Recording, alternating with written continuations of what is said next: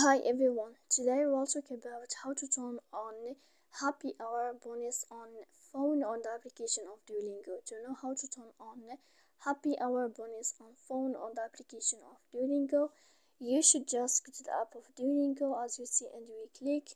After that in this page, you will go down to click in this sign and you will enter. When you'll find this page here, you will go to above and you will find this sign of settings, you will click then in this page of settings we go down to search about this sign here and we click here. If this sign changes the blue color then you can know how to turn on happy hour bonus on the application uh, on phone on the application of Duolingo. And you should uh, you should also to click here save. So please don't forget to support us by like and subscribe. See you next time in another video and thank you for your attention